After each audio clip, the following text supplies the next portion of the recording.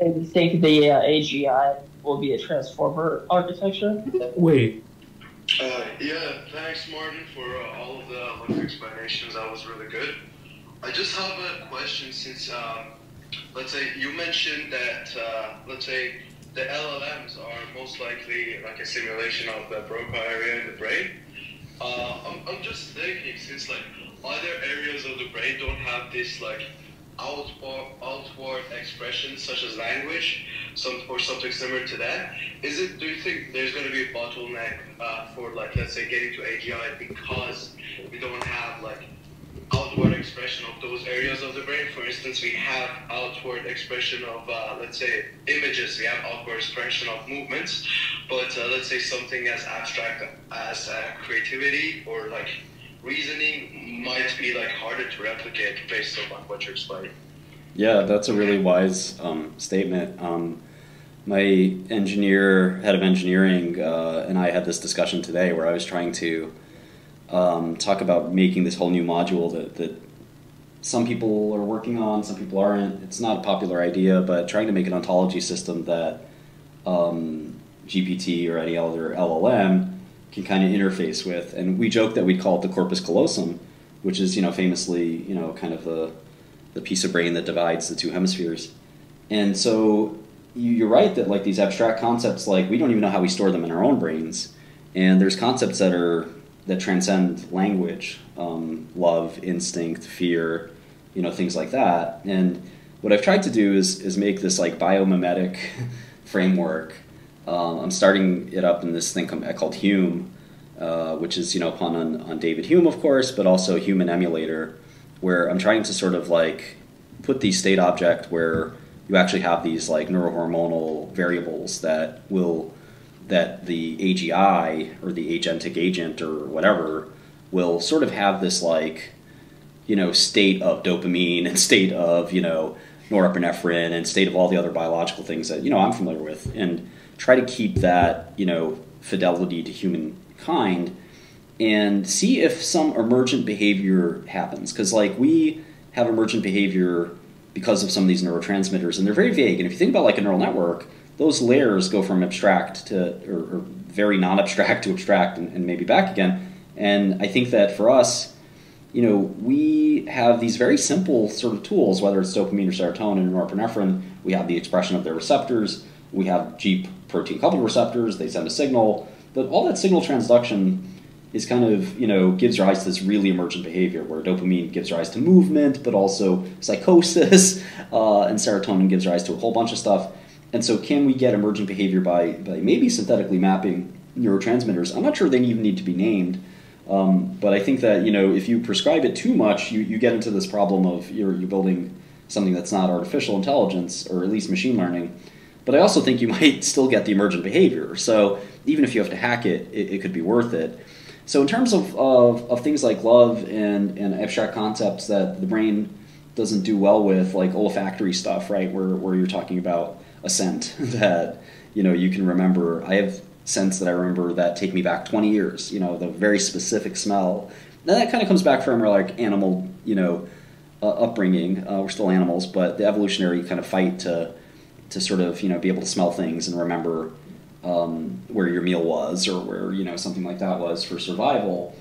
Um, in a lot of ways, a lot, of those substrates are a little antiquated, and I wonder if you can actually do fine with just language. So what I'm practicing is this thing called uh, the MUD, which was popular in the 80s um, as a text-based sort of world where you can simulate quite a bit of uh, reality with verbs and it's a text only interface. Now MUDs have evolved, of course, to RPGs and MMORPGs like World of Warcraft, where you can really live out a life in there that's fairly close to the reality. You can sit down if you want to sit down. I forgot how you do that in World of Warcraft, but I think you type forward slash sit.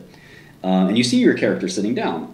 But that's all superfluous. An intelligent agent only needs to sort of simulate doing that, right? The actual visuals of it are just for our pleasure. And in a text based version, which was this MUD system, multi-user dungeon, I think it was, um, which I started playing uh, on Telnet in the '90s. Uh, basically, there was this uh, you know way to sort of simulate most of reality, and again, just like in AOL Instant Messenger, you can get a pretty good sense for, you know, a human actor kind of emoting using different um, emotional verbs. Um, some of the better MUDs had like a thousand verbs, and you could really express yourself just like um, you were you could express yourself in a 3D MMORPG, maybe even better. So I think that um, you know there's there's sort of a tool there uh, that I've been using to try to like get agentic behavior out of a, a necessarily stateless machine. I do think there'll be time, like the stuff that Yohi's doing and the stuff that I'm doing is very prescriptive and it's very like human directed. Whereas I think like reinforcement learning may actually be a much better sort of tool. And I think that you can combine the two. I mean, there's nothing wrong with saying like, for me, I, I try to use homeostasis. That if if the dopamine level of the machine goes up too much, that then maybe they have to move to lower it, or maybe they have to do some sexual thing to lower it, or something like that. And that's all things that we laugh, but like that is how we're wired, right?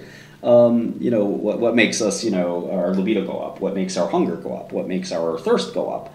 All those things are kind of regulated by, you know, this sort of hierarchy of, of, of needs that is not Maslowian, but it's more Minskyan. You know, Marvin Minsky was the, the pioneer in, in AI. A lot of people don't like him. But um, you know, he talked about the, the brain context switching amongst different submodules, and I think we have a really good Broca's area in the in the LLM, but I don't know that we have a good area for for like you know some of the prefrontal cortex and things like that. So I hope that you know helps touch on some of this. I really don't have a great answer to your actual question, which is you know how do we get a better sense for these ephemeral or indescribable, I should say, is probably better, uh, or tough to describe kind of you know, um, feelings and moods, um, things like that that can't be reduced to language easily. The good thing about language is that I think some people were talking about this, including our, our EAC founder, uh, Beff Jezos, that there are ways to reduce virtually anything to language. that if something contains information, sort of the Claude Shannon um, way of looking at it, that, that language can contain it. And I think that may be true. So my hope is that you know, you can use language as sort of like uh, a parallel reflector of any sort of state. Um, but that doesn't mean it'll be useful or easy or, or, like perfect. And so, I don't know. Do you think there's um, a solution to what you're talking about, or can you like pin it down a little bit better uh, so that we can think about it better? Uh, yeah, I mean, I have some experience like with HCIs and uh, human, basically human brain interaction and human uh, basically machine interaction. And uh, to be honest, uh, that's basically like what I'm probably gonna do is to go and probably get into Neuralink because I believe that like what they have can be used to basically train like uh, machine learning models directly on the like the human. I mean, it's not actual human brain activity; it's just the EEG signal and like the electrical signal, or ECG, more accurate, let's say.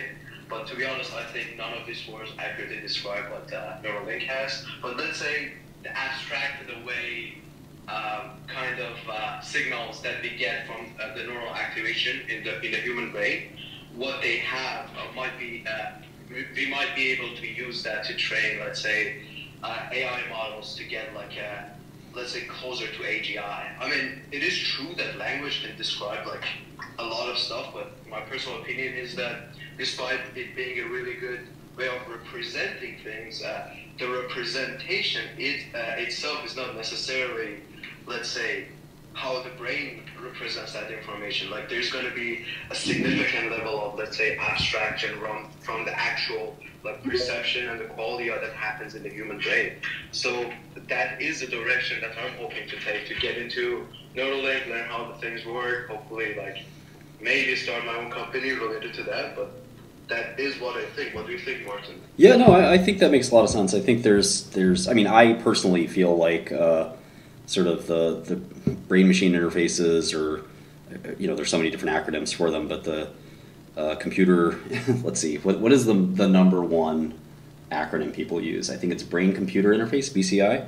BCI, yeah. Yeah. Yeah, The BCI, um, yeah. the BCIs to me are like, I'm not a huge fan of them, but we can talk about that offline. But the I, I do think like spiritually, I'm in agreement with you when I think like there's no better place to look than the greatest computer ever made. Three pounds, ten watts. um, very, very, very good engineering. Uh, so yeah, I think you know there's there's definitely clues in the human brain that we should we should go back to. And AI has moved very far.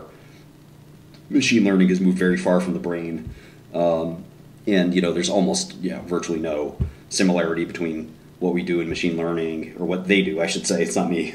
what great machine learning uh, researchers do and and neuroscience is, is, they've just you know maybe touched uh, 50 years ago, but they've they've so far removed from each other at this point that there's no point in using any of these sort of like neural network is probably you know for example a uh, you know a, a, uh, term that that probably should get renamed. Um, so I think that you know we should probably go back to some of those roots and think about you know what the solution is. So to me, that's like a high risk, high reward strategy. I'd be remiss if I didn't mention we have the beautiful and brilliant Tiffany here. Uh, just wanted to say hi. Oh my God, you're so nice. You sound very brilliant. I have nothing, nothing uh, insightful to add to this, but it's fun hearing you talk. Thank you. Um, so let's see. Uh, I can't say we have a mutual friend because you know somebody that everybody wants to know right now, and um, I don't know. Like, uh, I don't want to ask you about it if you don't want to talk about it. So. Oh, you can ask me about it. I, I am in an Uber, so I'm somewhat limited in what I can talk about, but um, you can ask me about it if you want. Yeah, so I mean, I was in a similar position to, to Sam, probably. So we're talking about Sam Bankman Fried.